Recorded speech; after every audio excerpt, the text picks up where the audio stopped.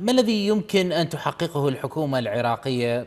الحالية كما تعلم أو القادمة؟ بعد كل هذه الظروف التي جرت في ظل الأدوات البسيطة الموجودة كما تفضلت ليس نعم. هنالك الكثير من الخيارات. ما الذي ممكن أن يتأمله العراق أو الشعب العراقي من كل ما جرى بتقديرك؟ بالضبط. أول شيء دكتور أحمد ما راح تكون هناك حكومة ما راح تتشكل.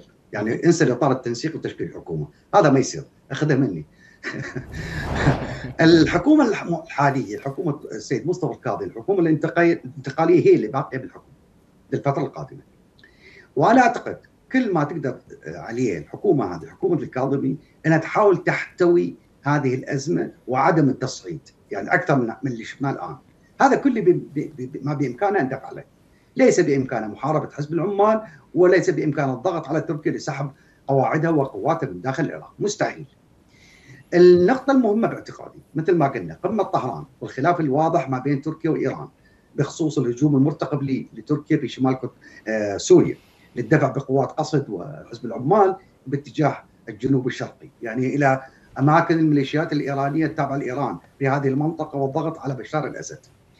إيران تحاول قدر إمكانها جر تركيا إلى صراعات جانبية لكسب الوقت.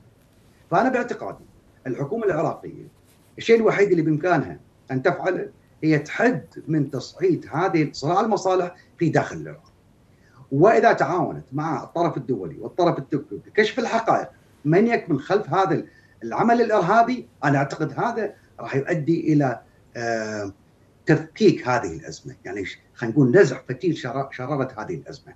هذا كل ما بإمكان الحكومة العراقية تفعله الآن.